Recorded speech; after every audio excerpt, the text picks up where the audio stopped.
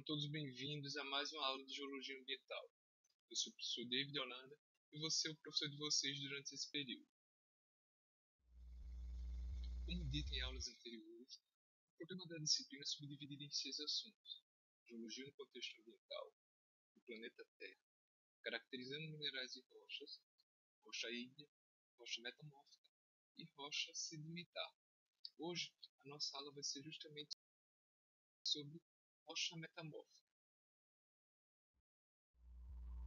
As rochas metamórficas são rochas formadas graças a mudanças de temperatura e pressão de rochas pré-existentes, ou seja, são rochas formadas através do aumento da temperatura e pressão.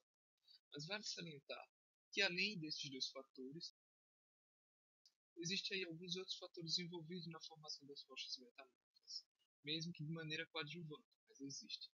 Todavia, o que se destaca é justamente a questão da temperatura e a pressão. Na aula de hoje, a gente vai ver qual a importância da rocha metamórfica, né, principalmente para os estudos científicos e econômicos.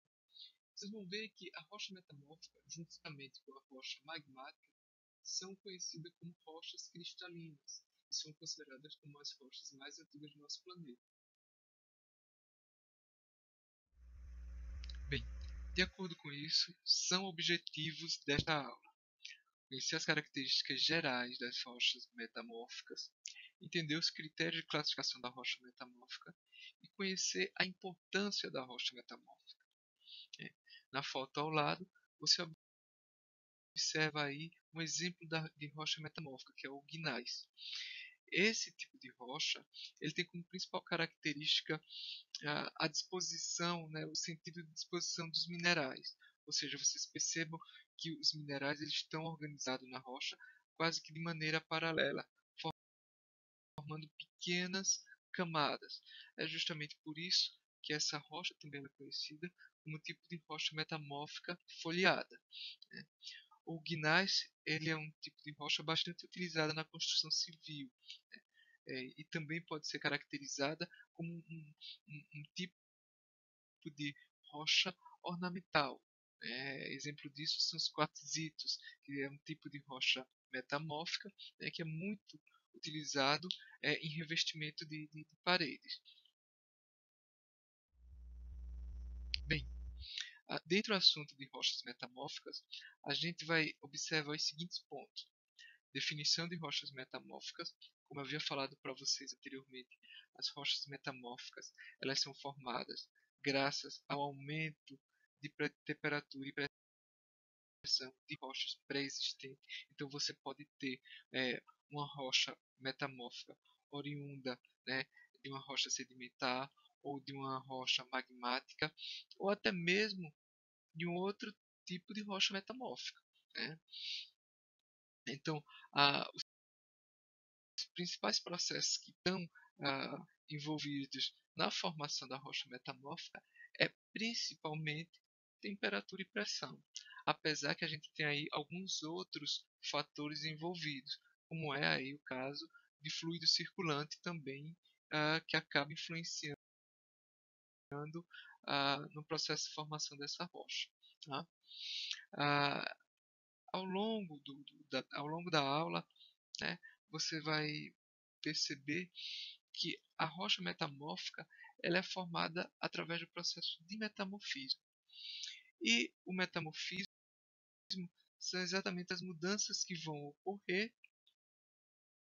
com determinado tipo de rocha preexistente para que essa rocha se transforme numa rocha metamórfica.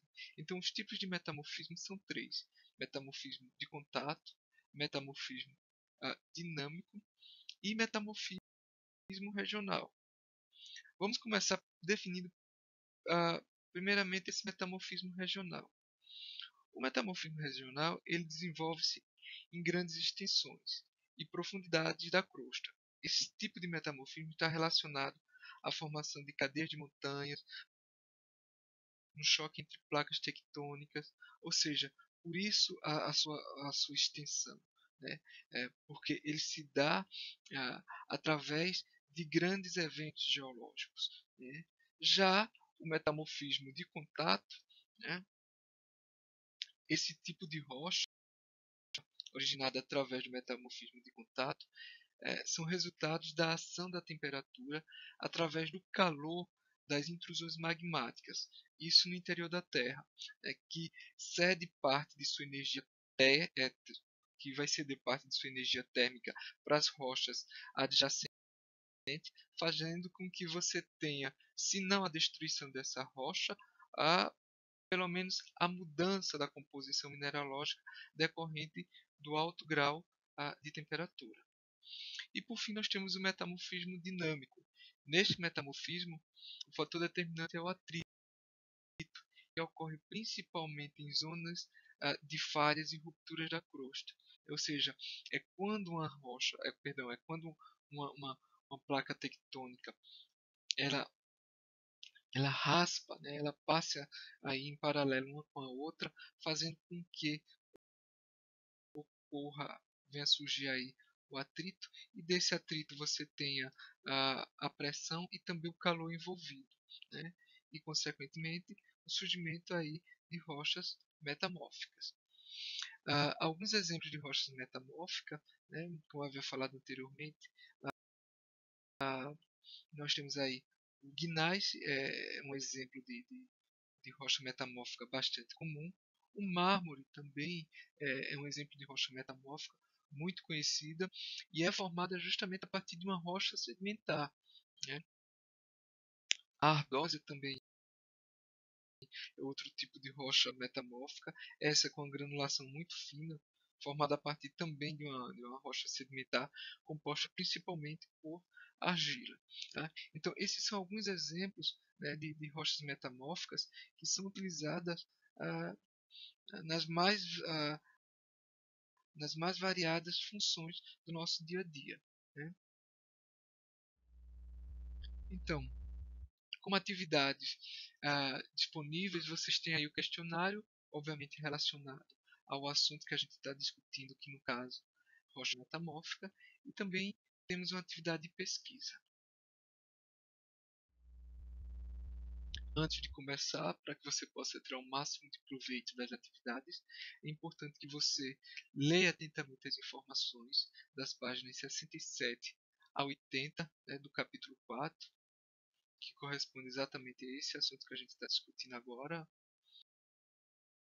Siga as orientações solicitadas para a realização de cada atividade e faça um cronograma de estudo para revisar o assunto e se preparar para as avaliações. Durante as aulas, procure o professor mediador do seu polo para esclarecer dúvidas. Explore o ambiente virtual. Complemente as informações das aulas com pesquisas voluntárias através da internet, livros especializados, perdão, documentários, enfim.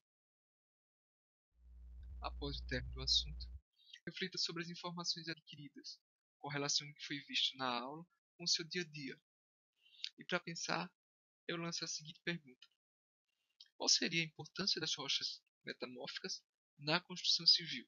Essa é fácil, né? Então, bons estudos e até a próxima.